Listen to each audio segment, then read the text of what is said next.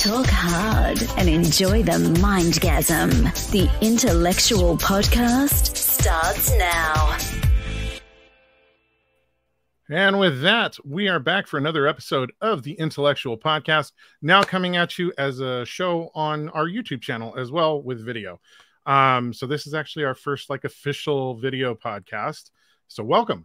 Um, we are in our ninth season of the show. If you are just joining us, thank you for joining us. There is over 300 hours of content available at the Intellectual Podcast, which you can find on all the podcast players uh, that you could possibly use. I mean, we've been at it for a long time. So I'm going to get straight into it. Uh, we have two guests today. Uh, one is a friend of mine, longtime friend of mine, who I actually met through San Diego HooCon, although we had been Facebook friends for a while before that. Being San Diego-based creatives, uh, we have a tendency to to meet each other online before we meet each other in person. So I'm going to bring him up. Here he is uh, voice actor uh, extraordinaire and soon to be seen uh, with his face, not just here, but uh, hopefully in other projects to come, Mr. Marc Biagi. Hello. Hey, hey, everybody. Hi, David. How are you? I'm good. I'm good. How are you doing? I'm doing great. I'm doing great. Really excited to be here today and uh, chatting with you again. Yeah, we speaking of San Diego HooCon, we got another one of those coming up here in just a few weeks, right? Yeah. Yeah, we do. It's the uh, weekend of the was it twentieth, twenty first? I can't remember. Let me bring up my calendar. Is that next to last weekend of October, I believe. Yeah, next to last weekend of October. There you go. Twenty first, twenty second, and twenty third. There so, it is. Yeah. Um, and we will both be there. Yeah, it's at the hand at the Handlery, I believe, this time. So we're returning to Mission Valley at that hotel. Um, yeah, that's where, be a lot of fun. I went and did my first one. Was the handle? Yeah, yeah, and that's where we met. Where we met in person, like you said, and got to be even better friends and stuff. Had a really good time. So uh, that's great. So, um, so you're on the podcast uh, today because I reached out to you and said, "Hey, uh, I took a hiatus on the podcast uh, at the close of pandemic. I just I'd been overwhelmed and yeah. I started a new job and it was just getting to be a lot. But I'm ready to get back at it." And I was like I know Marc has done HooCon with me, but I don't believe we actually ever got you on the actual podcast. I don't think so. Um, I don't think we did. I, we talked about yeah, it, but we never we made did. it happen. So I was yeah. determined to get you on. And unfortunately, the schedule worked out where Whitney couldn't join us today because she's coming oh, back from oh, some no. actor conference in Arizona. Oh no, Go she's given she's given me a ride on Wednesday night to a premiere of a film that I'm in. So, well, there you go. Um, I'll see her then. So um, sorry we missed you today, Whitney. You but, guys can um, have a virtual podcast of your own at that point yeah, it's a it's a it's a it's a fun little film. I'll, we'll talk about that another time. But uh, yeah, when you approached me, it was like I had a you know I have a project that I'm very much involved in right now.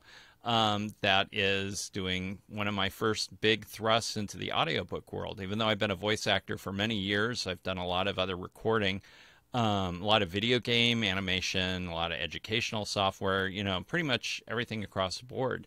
And storytelling has always been something I've loved. I'm a big science fiction fan and, and fantasy and all sorts of different uh, genre related stuff. So, um, started thinking about putting my feet in and and figuring out audiobook stuff. And I happened to uh, meet Mason Thomas, who's a really great author who uh, had a project he was looking to uh, get voice work for, and uh, and it's it was like it just uh, so many things coming together really well at once and i'm really excited to be working on it. Uh, mason's a great guy. You'll we're going to meet him today. Um, he's here and we thought that we'd uh, we bring him on? talk about the project. Yeah let's bring him in. All right. Mason here you go. There he is. Hello. Welcome mason Thank you. I'm so excited to be here. Thank you.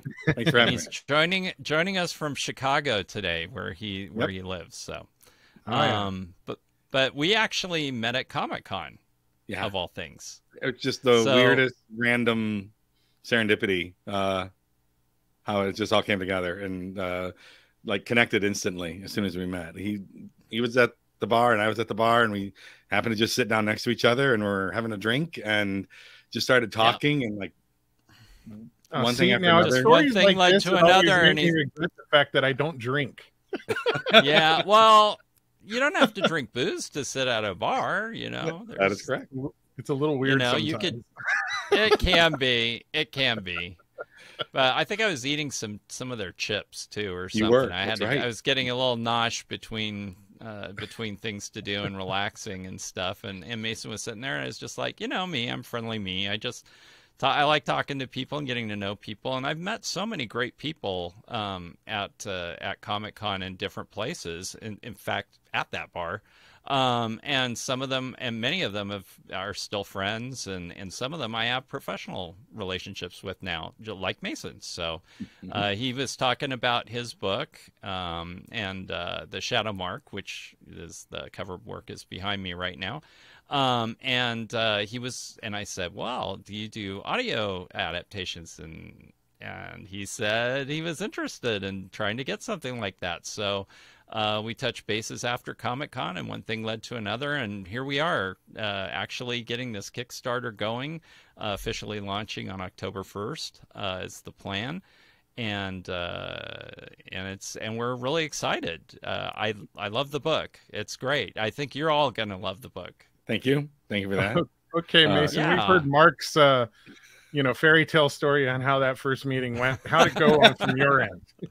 um, it is it is it is true to uh, to every word he said. Uh, I uh, like both of us were very friendly and like to talk to people, so we just started uh, chatting each other up and uh, just one common element after another about how much uh, like how much we love genre and how much uh, um, uh, we love audiobooks and and fantasy and uh, we just uh, I, I told him that I'm a I write gay speculative fiction, and his eyes lit up, and uh, and we just went from there. And uh, it's it's been an incredible partnership. Um, I, I I can't shout it loud enough how just every day I'm so impressed by Marc and his work and his work ethic, and um, it's like he reaches into my brain and pulls out exactly what I intended for that character. And I don't know how he does it, but it's kind of astounding. Uh, yeah, it's it's. Uh, he would send me these video clips and say, "Well, this is kind of where I thought this character was going," and blah blah blah. And I'm like, "Oh my god, it's exactly how I wanted them to sound." And it was just, uh, it's it's spooky in a lot of ways. How he is so right on point Aw. on everything that I wanted to accomplish with with this story, uh, and like just minor things here or there, like, but otherwise, like just 99% of them is like knocks it out of the park the first try. It's it's really Wow. astounding. Yeah. So is It- this it the, really- is this that- the thanks first for the time, Mason, that you've is this the first time that you've heard somebody orally interpret your writing? so I had um my my first book um did get an audio version. Um and yeah, so it was it's a it's a strange story for that one too, but um so that was done through the publisher that I was with at the time. Mm-hmm. and uh, the uh, the narrator there is Joel Leslie, who is also an incredibly uh, well established, uh, and I was incredibly lucky to have him uh, for my first book out of the gate to get Joel Leslie to read it. I was very lucky, uh, but then since I left the publisher, I didn't get the other books made yet. So it's always been on the back burner of something I wanted to get done, and I love the process uh, of hearing it go to audio. Uh, it's fascinating to hear how people interpret your work and to hear it back in in tone and inflection and emotion and all of, like things that are in my head uh uh coming to life uh, is is just is really uh just such a glorious experience and and going back to mark and just how easy it is has been to work with them for this project i just can't wait to hear the end result Now I know bit we've heard so far. I- love audiobooks, um, but I know they're not always done the same. Sometimes they're Mhm. straightforward readings, Yeah. and sometimes they're performative. Um, and knowing Marc, I can only imagine that there are a number of voices associated with characters. So you're actually 100%. characterizing uh, performance, right, Marc? Oh yeah, you bet. Uh, I am a multi. I would expect nothing less of you. I'm a character. Yeah, exactly. I mean, I can't. I can't not do it. It's just part of who I am, and and uh, what I've always done in my voice work. Um, usually, getting a lot more voices for voices that I do rather than my own voice. But this is kind of like a combination um, of that. So, um, and uh, yes, I am. I am performing this work. It's it's narration, but there's all the characters are acted out in their dialogues. Um, we haven't really changed it. It's it's exactly the text as Mason wrote it. So, um, but yes, I'm being, bringing character and performance, different voices in, probably more than you hear in a lot of different audiobooks out there. Mm-hmm. Um, there are some, I know there are people who do it, um, but these are not uh, some of these are are very different characters and uh, and some real strong voice work here. So it's been exciting and fun for me as a voice actor to be able to embody these characters and and analyze it. And one of the great things about Mason's writing is that it really the his descriptions of the characters and their dialogue really lent themselves to certain types of uh, voices that I used and ideas and and uh, that's why it was so easy for me to really kind of I pin down what I see this character as uh, when I'm reading it and, and hearing it in my mind's uh, hearing it inside your brain before you start speaking it. Um, and of course, you know when you're reading it, you you play around with it a bit, uh, you know, just on your own, just to see, you know, when you're reading it out loud, what it's like and uh, found some great voices uh, for the characters that really worked for me and fit for me. And I'm so glad they worked for Mason as well. It, it's incredible. And one of the things that I never even considered when we were talking, uh, we had a long Zoom meeting uh, about a week ago, right? Yeah. Uh, and he would like making sure that all the people that are in the room have sound like they're supposed to sound, but at the same time are distinctive enough to where mm-hmm. you can tell when one person's talking, even if it doesn't have a dialogue tag. So his mindfulness of being able to puzzle that together, I was just so blown away by it. And he like pieced together that like, so this character is going to sound like this, so it doesn't sound like this, but they, you know, it's it, it was just blew me away. It's just well, yeah. that's where Marc's Marc's voiceover uh, background, I'm sure, comes in really right. handy because Marc, you I'm sure you've done it yeah. Most voice actors have had to do it where they've acted opposite themselves multiple times on various yes, projects i have and, they, and five characters right? You have to be very yeah and you have to be distinctive enough and sometimes you lose a part because you know uh, you you're not going to be able to give it enough of a differentiation or they go oh my god you're a main character you can't talk to yourself in this minor role unless you can make it sound really different. And yeah. many times i do but sometimes they go you know what?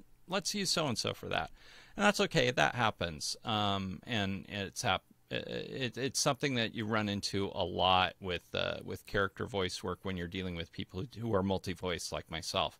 So um, yeah, so and, and so I did bring that sensibility in when I was casting the voices for uh, that I will perform for the different characters, and and I wanted to be mindful that the audience when they're listening to it uh, it's very clear which character is speaking at each time. So, mm-hmm. um, you know, I'm I I'm don't I can't separate things completely, you know, to be able to sound totally high and totally low.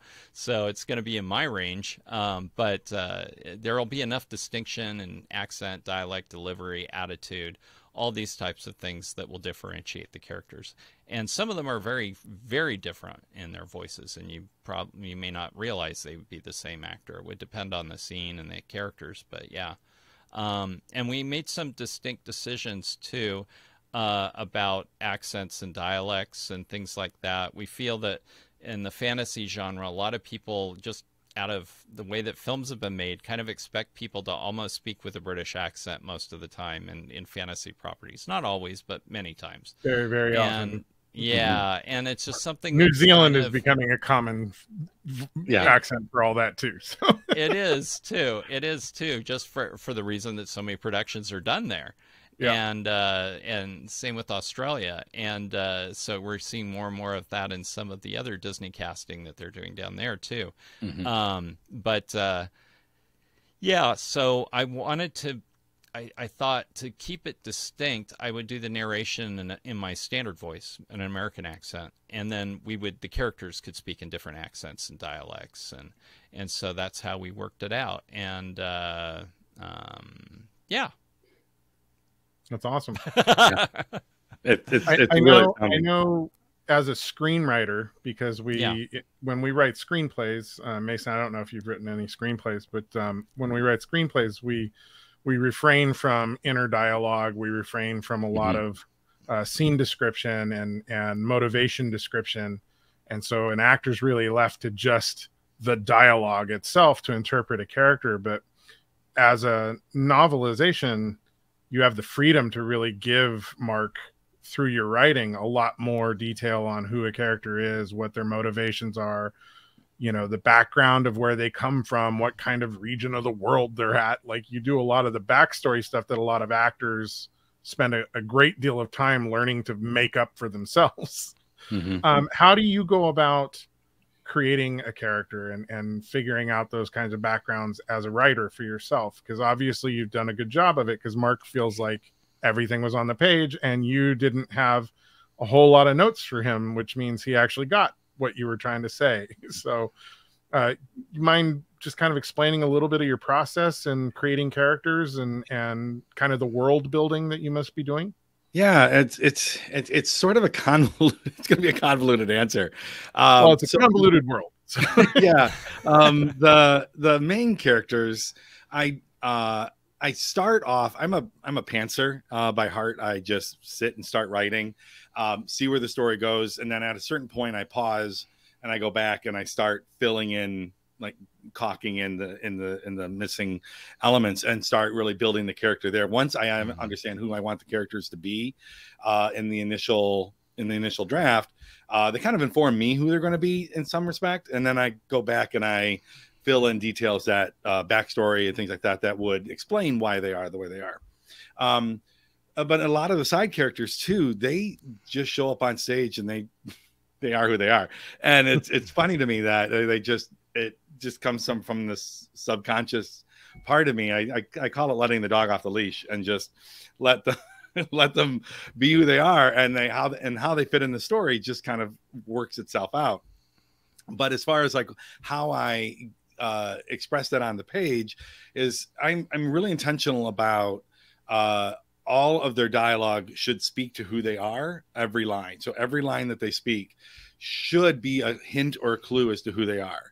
So it's it's a lot of subtlety, but it's also over time builds up to give a framework of who that character is. Um, so it's I don't try to shoehorn in a lot of detail that is like heavy-handed description of I, I let their behavior and their dialogue do that for me. Uh, and it's just uh, making sure that it it it is just this subtle undercurrent of of who they are and how they think and how what they say that gives uh, that gives clues as to what the character is and what drives him.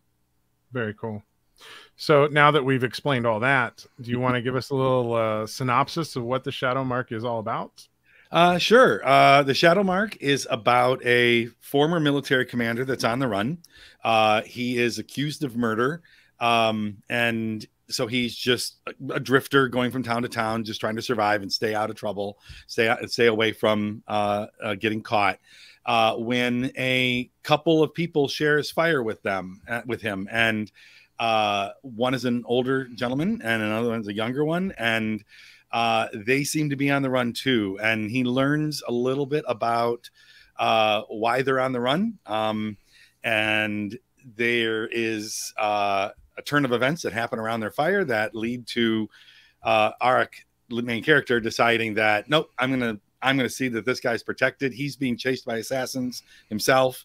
Uh, they don't know why, but uh, he decides, well, I'm going to protect him until we figure it out. And uh, they go on this adventure together, uh, trying to keep, trying to both stay alive and uh, develop a uh, an unexpected bond between them as they as, as they go on their journey. It's a great arc too for both characters. both Arik and Kane have really transform and change by the end of the story. So it's a lot of fun. Um, in in watching that process as they start as totally odd bedfellows and, and very different types of people, and kind of you start seeing them understanding and accepting things about each other, and really coming to learn and depend on one another for things. So it's it's mm-hmm. really um, it's a it's a great character arc. And and speaking to what Mason was talking about in terms of character before um, with dialogue, that was one of the things as an actor that was really great is that the dialogue that you do write does inform these characters very well. I think it, it gave them very distinct personalities. Uh, helped me choose where I wanted to place the voice, what type of accent. For instance, uh, the uh, the the the two main characters Arik is more of a soldiery sound, so he sounds a little deeper, a little gruff, a little bit more acerbic sometimes. um, and I, I kept him with one accent, and then we really the the other character Kane is uh, more of a country boy. He's he's a boy from the little, a small town, and uh, or a village really, and hasn't really had much experience of the world. He's very innocent. He's an orphan, and uh, and so he's thrust into this big world and this major events happening and mystery, and the stakes just keep going up and up and up and up throughout the story to to a very uh, major climax that brings in things that are well beyond these characters and uh, worlds that they never thought they'd interact with in their own world. Um, there's redemption, there's mystery, there's uh, there's romance, um, there's all sorts of, of great things along the way. Magic, don't forget magic. Yeah, there's yeah, magic. Yeah, too. magic. There's there's some magic. Intrigue, uh, definitely intrigue. There's fighting. Uh, there's there's intrigue on many levels. There's the the mystery of what's going on with them. There's a a whole sort of conspiracy possibly thing that mm-hmm. they discover. Um, so there's a lot of a lot of things uh, that that really hook you into the story um, and and make it uh, flow along very quickly. It, it, it's a very easy read, and I think it's going to be a uh, and it, and I mean as far as it draws you in and, and keeps you hooked and you want to read the whole thing you know it's like oh just another chapter. Oh just you know one of those types of books. So um very kind words. it's but it's true. I mean i really enjoyed the whole journey and uh, it's it's so exciting to be able to to work on a project like this that you really love and that you're going to be able to now bring it to uh, to a different audience and also do use the so same excited. material and speak to to people with those characters. So it's exciting. I I'm very excited to be part of this, and uh, I can't wait for people to hear it. Me too. you know, when I, it, when I, yeah. Go ahead. Oh, go ahead, Mason. No, I was just going to say that like one of the things that when I was writing it is I I really wanted um, to just keep pushing the two of them to the limit and they depend on each other so much by the end of the story uh, and they get to understand each other so much by the end of the story. But i wanted to just keep pushing them farther and farther uh, both physically and mentally and they just they both really take a beating uh, by the end. Um, and i loved just taking them as far as they can go and find out what they would do what how how did they respond to those kinds of pressures and uh, that that's the part I loved about writing this book was just to see how far I could beat them up. and, and he does. and they and uh, he's not afraid to kill characters either. So there are some characters that are introduced, and uh, they may not make it to the end of the book. So well, that's the way it uh, should be, right? yeah, exactly. But it's right for the story. It, it's yeah. all really good storytelling of why the why the things happen and, and uh, how one thing leads to another. So um, it's a really interesting world, and and as one of the uh, are we doing it as a push goal? I can't remember, or is it just another level of contribution with Three tails, Mason? Oh, I, it's it's a uh, yeah, it's a it's a reward for it's a reward. Okay. Yeah. Mm-hmm. Yeah. So um, he also has written three other stories, short stories that take place in the same world that we're also recording and it's not doesn't have anything to do with the characters in the shadow mark directly as far as we know. There's no tie-ins when you, you can listen to each of those stories standalone. And uh, and they're uh, each quite different explorations into different aspects of the same world and universe that the shadow mark takes place in. And uh, that was a lot of fun too because each of those is is a really interesting and fun self-contained story that just it it, it, it brings this really wonderful moment to light and a new aspect of this uh, uh, mythology, cosmology world that he's got there, um, and explores that. So that's a lot of fun too. So we have we have that as well that we've done. So uh, there are three of those uh, again. So yeah. it's uh, I'm forgetting the name of the one, the something that the the one with the chest. Which which the black chest. That? The black chest. Okay, mm-hmm. there you go. And the Ode to Gamdosa, and the third one is Herb. Yes. So, because it's got. I think it's great that you're also H doing those short stories as audio audiobooks. Um, you know, I myself, I love books. And I grew up reading. You know, my dad had a thing with me when my parents divorced that like every week he bought me a new novel to read and mm. I had to hmm. read that whole novel by the time I came back around a week later to visit him again and we talk about the book and he'd buy me another book and we just kind of did that for years um, and I, I, loved it you know it exposed me to so much fantasy and so much science fiction and history and and uh, period pieces and just expanded my whole worldview because all these different books that I got to read. Um, but as I've gotten older and my time has gotten, you know, more crunched and my eyes are, you know, doing the old man eyes thing, you know, reading is, you know, progressively harder and harder for me to do. But hey, I have a two hour commute going to and from work every day. So audiobooks kind of become my lifeline to to the written word.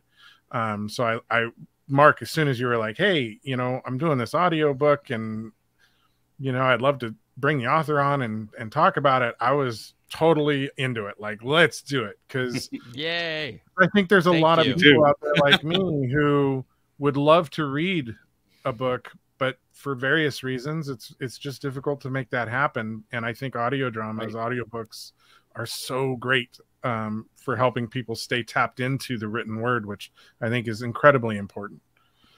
I agree, um, and I think and it keeps, keeps writers writing, right? Yeah, exactly.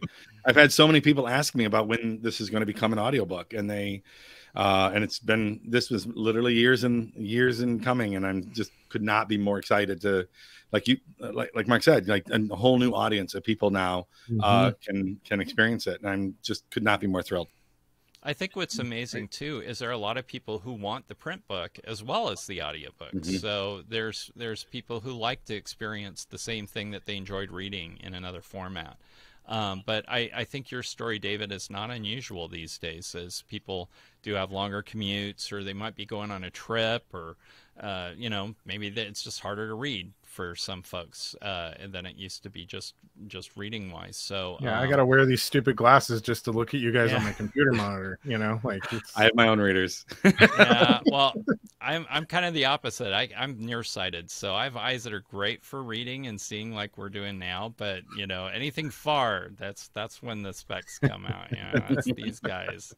So, um, but yeah, I totally get that. So, um, but that's another reason too why it's great that we have e-versions of books and and stuff too, so that more people can read and in e-readers and things like that. So uh, it's an it's a nice it's nice to have different formats that help different people uh, to be able to experience books. And audiobooks also help the the people who are uh, uh, either non-sighted or have uh, have other vision uh, issues mm-hmm. with being able to yep. read print um, it gives them a whole other way to experience things too. So, um, and and some people just don't have the patience to read the same way. They they they we have audiences now who like to be entertained more, just growing up with television and things like that. So, um, they're they're definitely an audience for audiobooks, but I don't think they're the only one. I think a lot of audiobook listeners are also readers. Mm-hmm. That's been at least my experience. So I think it's just and it, and some people I know have re- heard the audiobook and then they go out and buy the print book. So and that's great. I know? do that for, for, for, for books that really blow my mind on an audiobook. I'll go out and buy the book just to make sure that the the book gets the credit as well. You know, like yes and, um, then it has an honored place on your bookshelf too as one exactly exactly like you absolutely know I, I, heard this in an audiobook fashion and i may not be able to ever read the book itself but i want people to see it.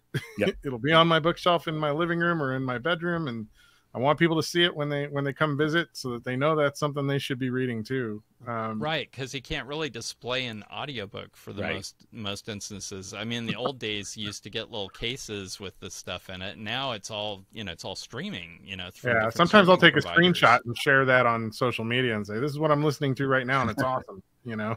Mm-hmm. so Hey, um, you you gave me a couple of samples of stuff. Do you want to play? Yeah, some? I was gonna say this would probably be a good place to play a sample. So our first sample is from the Shadow Mark.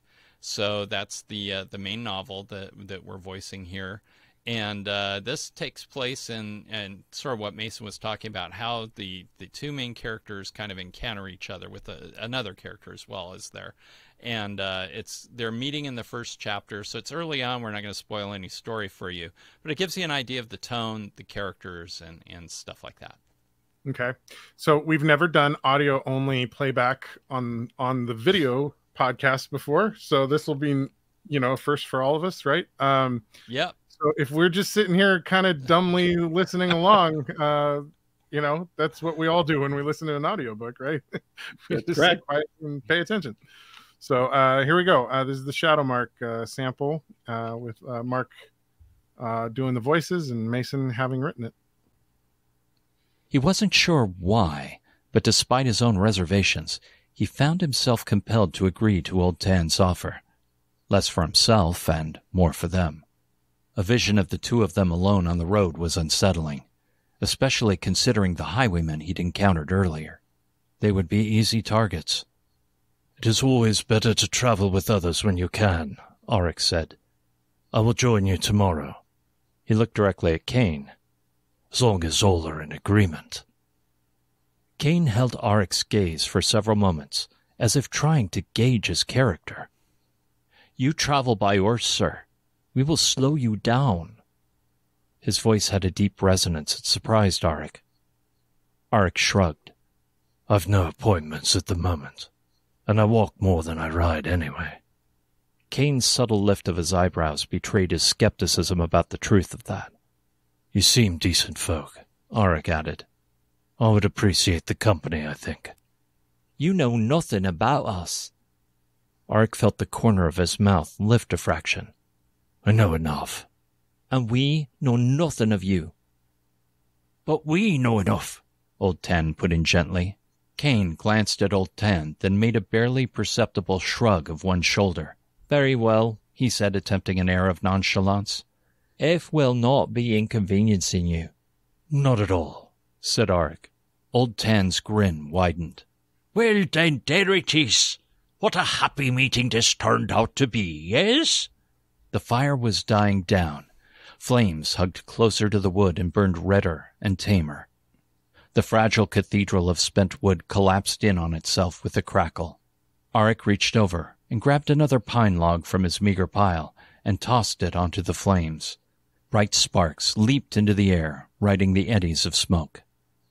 Sleep, Auric told them. I'll keep watch for now. Old Tan's brow furrowed, and he looked as if he was on the verge of protest, but Auric cut it off before he could voice it. I'm not tired, he said. Old Tan looked like he wanted to argue, but Auric could see the fatigue winning over. After a long pause, he nodded. Kane glanced over at his master a moment, then turned his eyes back to Auric. Wake me when you're ready. I will tend to the fire next. Auric replied with a nod. Old Tan wasted no time curling up on the ground in his cloak. Eyes closed, he fell into a steady rhythm of breathing almost immediately. Kane, on the other hand, spent time clearing away sticks and pebbles from his spot by the fire, smoothing the ground out with his hand. This was not someone accustomed to sleeping out under an open sky. He tried first to lie on his side, grunted, and moved onto his back.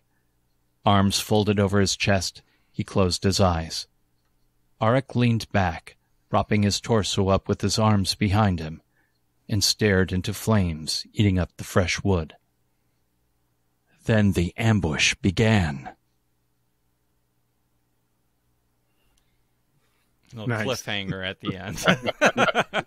That's actually the end, the whole end sequence from chapter one. So, um, but I think it gives a good idea of the, who the characters are a little bit in their initial introductions and their reticence about each other initially, since uh, they are all kind of uh, on the run for different reasons and and brought together through circumstance and not quite sure whether they should even trust each other. So, um, so I have I have to ask a technical question yeah, of you, Marc, sure. as a performer.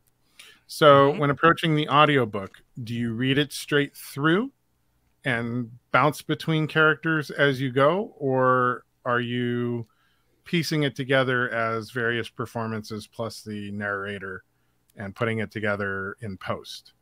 I'm still exploring what process works best for me because I'm new to this world, so of doing this, and you normally we single track our characters in other properties. Um, but I've done both actually. I've done some of it has stuck from when I actually read it. I might give myself a slight pause just to make sure I come out of one voice and go into the other. But yeah, I mm-hmm. actually do read them uh, initially, especially uh, in the first take, through all the way as the characters.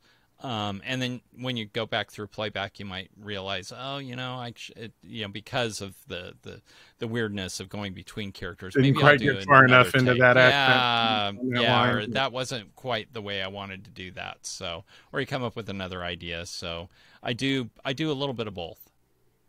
Because you know, I dabble a little bit in voice work, and right, uh, doing audio books is something I've always kind of wished I, I was doing or could do. Um, so I always, when I'm listening to them, I, I'm always wondering about various performers' processes and you know so i thought oh what a great chance i'm gonna get to ask mark how he's approaching yeah it. it's it's i'm comfortable doing it i'm not sure all actors are um, mm-hmm. i think for any other actors uh, narrators readers whatever you want to call us um, who are doing this type of work, I think you have to find what process works best for you to give the best performance. I think yeah. that's what it's all about at the end of the day.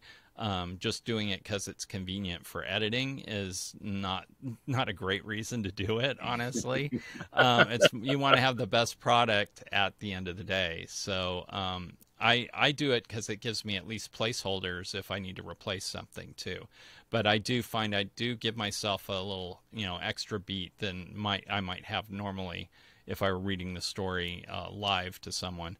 Um, even with character voices, I, I would probably flow a little bit faster in person, but in recording, I tend to give myself just a little bit more editing space in case I, and then I can, you know, take that out or whatever.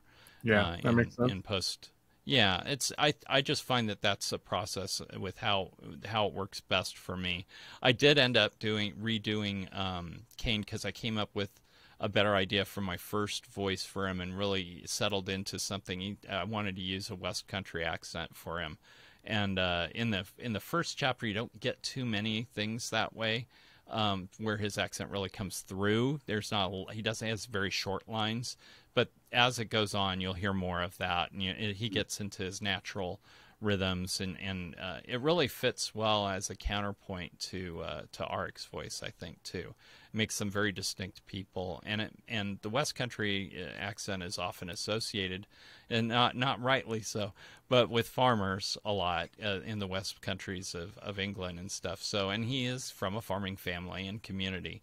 So, uh, although he works as a tanner now, a, a tanner apprentice and uh, and it it fit as sort of country boy comes to the city type of accent, which we were kind of going for. The, the well, even, was, even when you're dealing with American accents, you know, right or wrong, yeah, that Southern drawl is associated with farmers, um, right? Right. And sometimes with and sometimes with people who are less intelligent, that's not the case at all. Yeah. You know, an yeah. accent doesn't necessarily imply intelligence. That was the um, trick for this, right? I mean, that's yeah. the one that you you wanted to make sure that he had the country sound, uh, sounded didn't sound like a stupid, villager, yeah. but not make him sound like he was unintelligent. Right, Yeah. right. And he's just inexperienced. He's naive about Mhm. certain things, but he's not stupid by any means. Um, he's Right. very capable. He's he's thinking things through all the time. Some seeing different angles of things. He has very much a good heart too, and I think there's something that also I loved being able to bring out because that accent to me, when you listen to it, it's very close. It's in fact at times it's almost the same as the American accent now. It's the one that's closest to ours uh, in England, and um, there's almost a heartfulness to a lot of his uh, his dialogue and his lines and when he speaks, and that accent has kind of that type of feel to me too, uh, which was really important to bring into that character. So I'm looking. That's what struck me is that it had just like a warm empathy Yeah, behind it. It- He's he really was very empathetic and very understanding and uh just uh very he's very much an empath in, in terms Yes. of being able to read Auric. and outside of of the circumstance he's in now, he's very he's a very friendly person. He gets along well with people. He's conversational. He's he he he you know he meets other characters later in the in the book where they just you know he's having these long conversation uh, conversations with them sometimes uh, really to uh, Auric's uh, uh, frustration.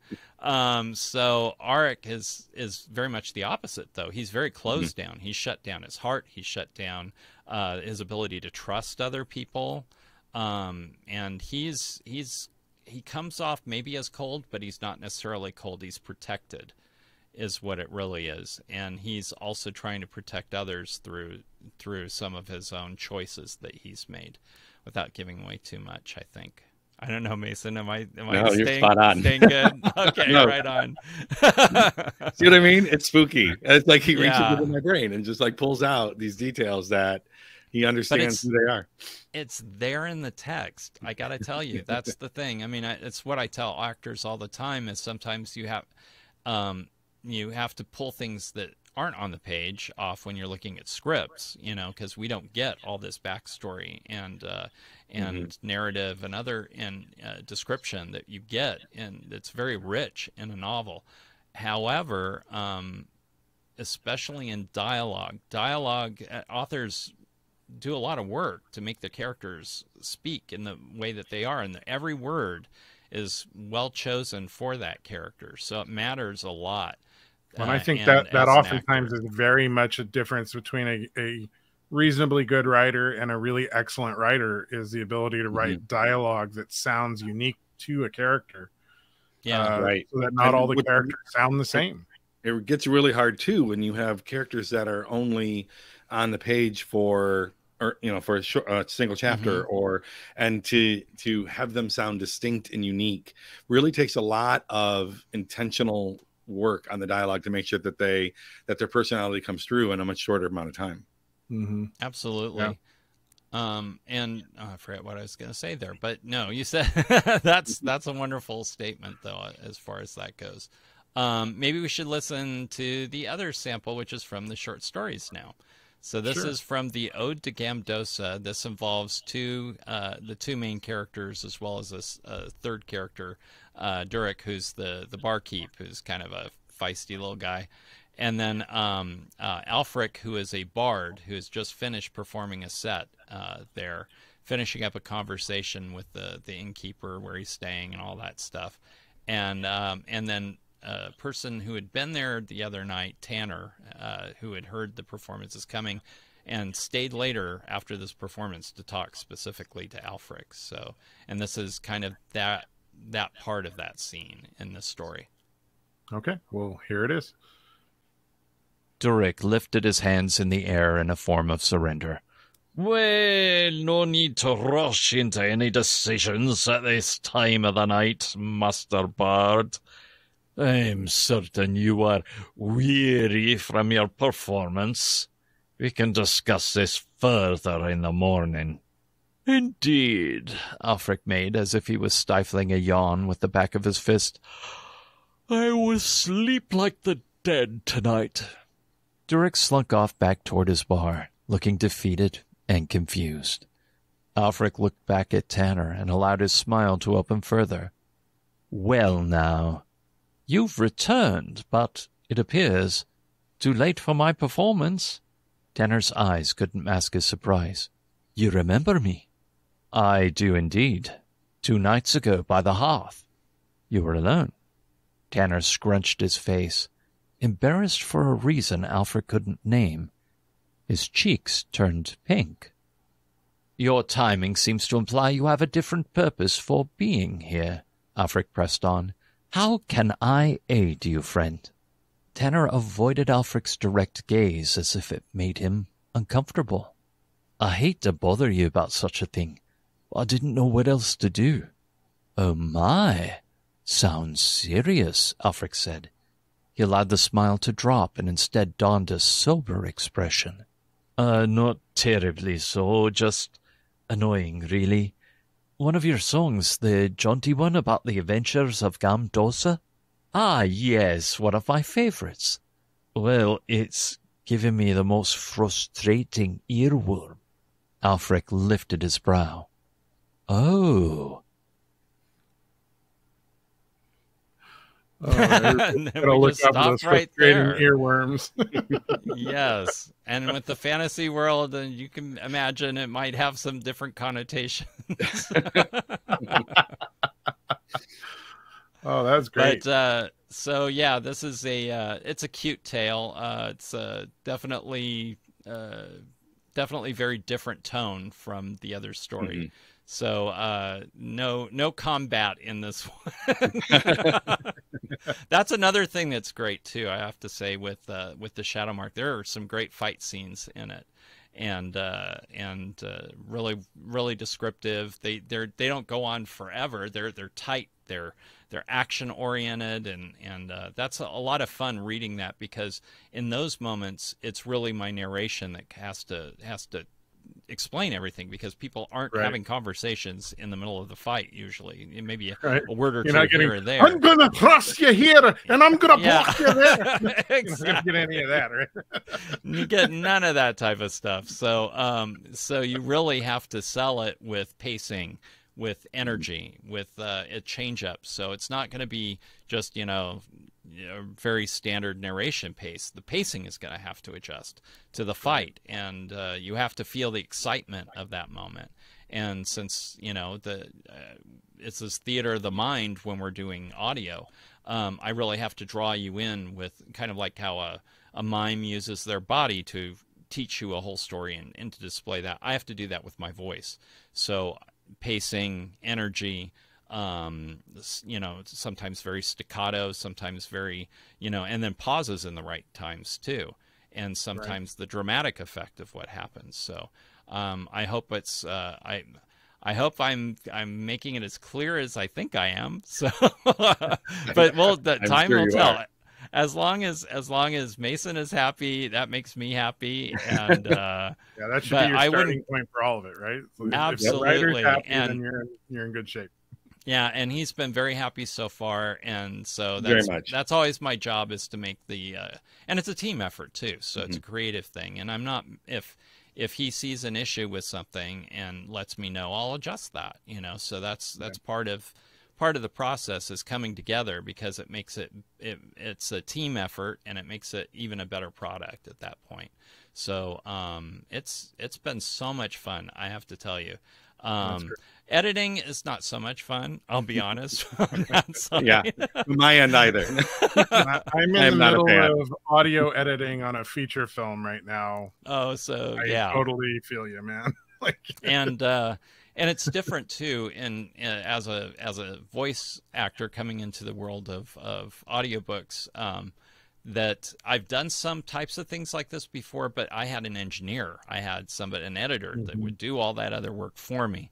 In this world, it's it's you. Mm-hmm. You got to learn. So yeah, I have to learn some other things and techniques to be able to. Uh, and, and uh, thankfully, uh, services like ACX have come along, which make it kind of gave you a standard of what how you should adhere to things and and uh, and get the type, get the right types of stuff. levels. Yeah, yep. exactly. Yep. So you learn a lot of technical stuff. It's it's been a bit of a learning curve, I'll, I'll admit, for this first book, but um, I bring decades of other experience to the table that make up for that. So, um, right. but it's well, I think fun. that's part of why we become creatives, right? Because we like yeah. to learn new things, and I think that's part of the deal, right? Is we just continually learn and train and and teach ourselves to do all sorts of new things. Um, I think it's, it's, just kind of in the creative's blood. It is. It's a one. It's it's basically a one man show. You know, which that's every actor would love to do something like that someday. Right. You know, so it's like a it's for me it's a, it's a dream in a lot of ways. And plus, I love fantasy as a genre. Um, I love science fiction as a genre. So all these types of properties, uh, this is uh, and this is stuff I grew up with. So being able to be part of these worlds, because I get involved in projects that are so far removed from these types of things and so mundane that um, that it's really nice to have something that takes you to a place that's uh, an escape, but uh, but entertaining at the same time. So right. Um, so I'm I've been I've been loving the whole process of of going through that, discovering the characters, um, you know, and then now really putting it all together and bringing it together in the actual files that we're going to upload. Mason, I'd be, uh, I'd be, you know, totally not doing my my job if I didn't ask you a little bit about your own background and how you came to to be an author.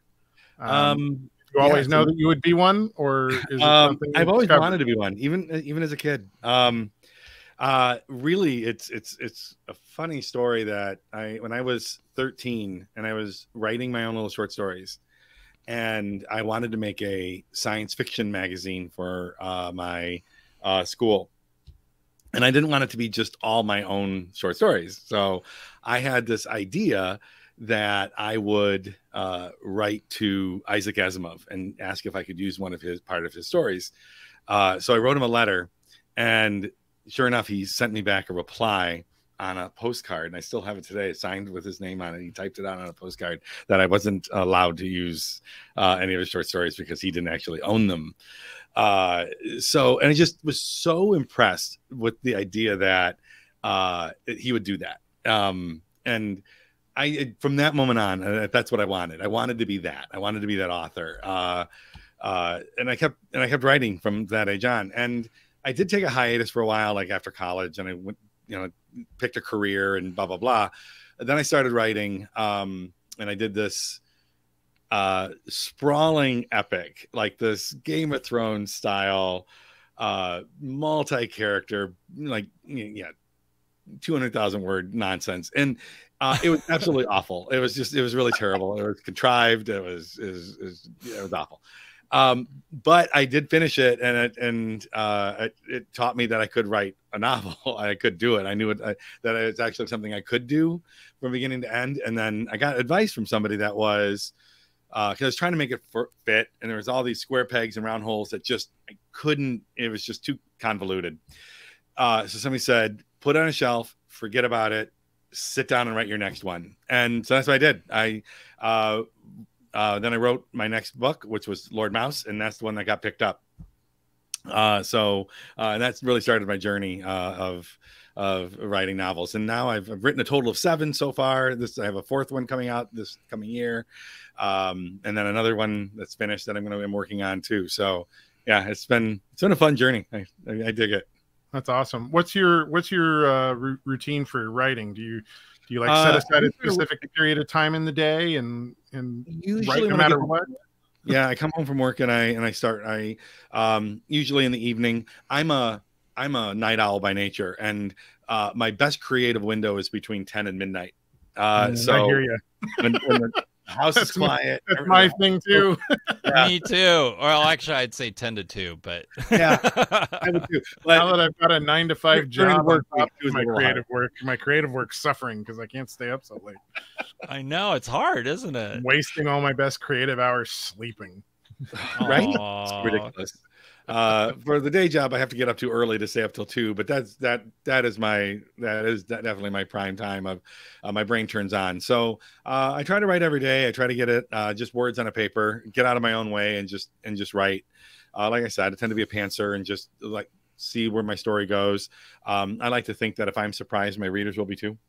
Um, so I just I, uh, I do go back and, and editing process and fill in all the gaps that need to be filled in and make it a cohesive story. And uh, uh, I I also like uh, a quote by Isaac Asimov: "Above all else, be clear."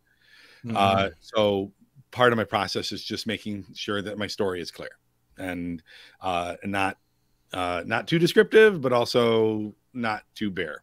So it's a, it's an interesting balance.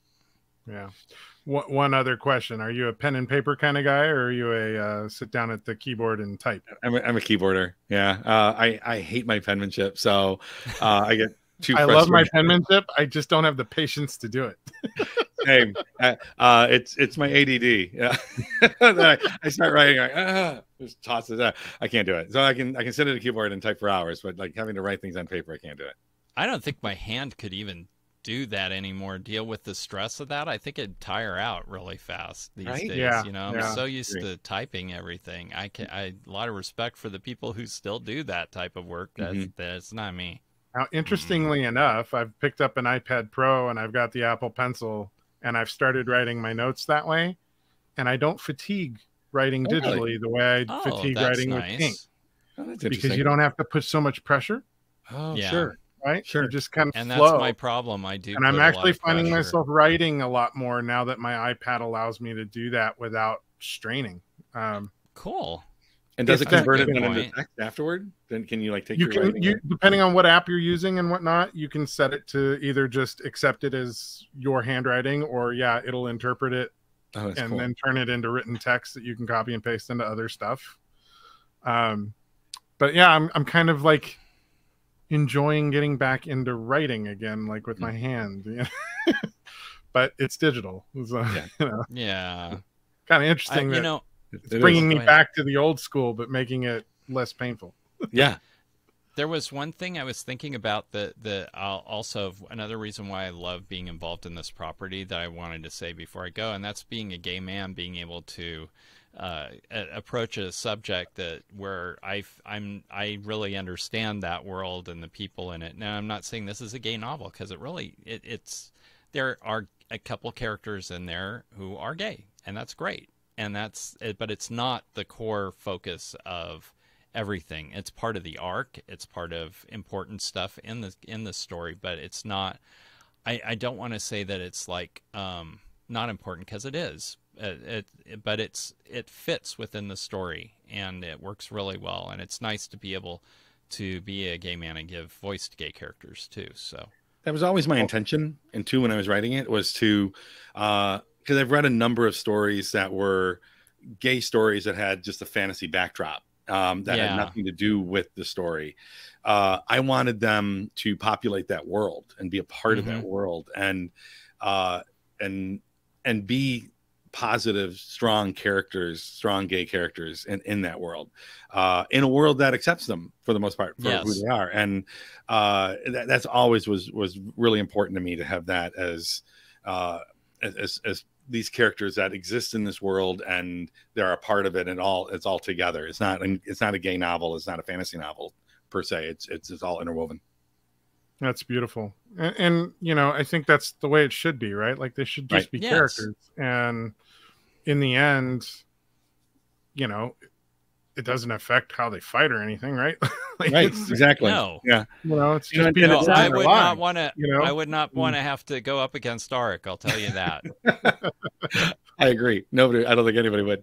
Uh, and- and No. it's it's for me too. It's uh, I didn't want it to be a story a, like a coming out story or uh, a, um, uh, a story of uh, adversity for being gay because that's all been done. Um, I wanted it. I wanted them to live their lives as as gay men and be strong and be positive uh, examples of of gay characters in a book. Well, and I think in the end, uh, too, the best way to kind of encourage acceptance is to just show acceptance, Right. not not adversity necessarily, right? Right. Like if we can just envision a world where that acceptance is normal, then Right. that becomes normal right. and should be normal, right? and and when I and that's what this is the this is the novel that I wanted to read as a kid, where I could read a character, a gay character, that is living his life and being true to his life and uh and living in this fantasy world. It was it's, it's the novel I wanted to read. Uh, That's fantastic. why that's why I sat down and wrote it. And uh, if it spoke that way to me, I'll, I'll have to say that, that very much. If I were when I was younger, I would love to have read a, a story like this. It would have been very affirming for me. Mhm. Um, I will also say that we hope to make you cry at certain points in this book. I know I did when I read the the book itself, so I'm hoping Probably to the keep same parts where I cried when I wrote it. yes, exactly. So there's there's some very moving moments in the story that I think are going to really get the uh, the listener uh, moved, and uh, I'm looking forward to to being able to do that. It's uh, there's there's a lot of great story here. Awesome. And so you guys are going to be. Or did you launch a Kickstarter already? Or Are you about to launch a Kickstarter? About to October first. October first. Okay. That's the And day the that sam- this podcast is going to drop. Oh. So Perfect about that? timing. there we go. The samples, the samples you hear here are the same samples that we'll have there. We may have some other stuff down the road too. Mhm. Uh, you know, as Kickstarters, you adjust as as the the thing is going through. Well, you Uh, guys give me the link to yeah. your Kickstarter. I'll make sure it's in the show Sure. notes, uh, both here and on the on the audio podcast. And uh, you know, I I strongly encourage uh, anybody who likes audiobooks to to check this out and and support the Kickstarter. I know I will. Um, We're and, so uh, excited. look Thank forward, you. look forward to hearing all the all the completed uh, project. And I think the the contribution levels are very reasonable. That I think a lot of people will find it quite quite easy to contribute. And really, I think not only that, you're going to get some really great value, and you're really going to enjoy what you get. So, we're very excited to bring this to you. Fantastic. Well, Marc and Mason, thank you guys so much for joining me today. Uh, My I'm gonna pleasure. I'm gonna go and uh, sign off and go rest. I I got my uh, flu vaccine and my COVID vaccine yesterday, and Oh my gosh, you got Woo! about a day and a half. If it's yeah, anything yeah, like I'm at mine, the tail although end mine of was uh, tail end of feeling better, I guess. mine was just the COVID. I, I didn't want to combine the flu this time Oh, because yeah. and I did have about a day and a half reaction just to COVID. But tomorrow yeah, morning, so I got a Friday I'm afternoon, flu. so I'm I'm just starting to feel a little bit normal, but being up for an hour with you guys has worn me out. A lot of people Well, feel that way. Thanks for having us, David. uh, thank you guys so much for coming on. I really appreciate you sharing the story with me and, and sharing the background on on everything. And uh, I really, really wish you guys all the success with the Thank you so much. And, and Mason with your future novels. Uh, hopefully, we can have you back to talk about your next book when it's ready. I would love that. Awesome. Yeah, just let me know. Excellent. All right, guys. Thank you, Later. David. We really appreciate it. Take So, care, everybody. thank you so much. It's been great. Bye. Hello there, citizens. I am the terror that flaps in the night. I am the floaty that will not flush no matter how many times you try in the toilet bowl of crime. I am Darkwing Duck, telling you please, talk hard and enjoy the mindgasm. Whatever the heck that means. After all, you are watching intelleXual Podcast with your ears.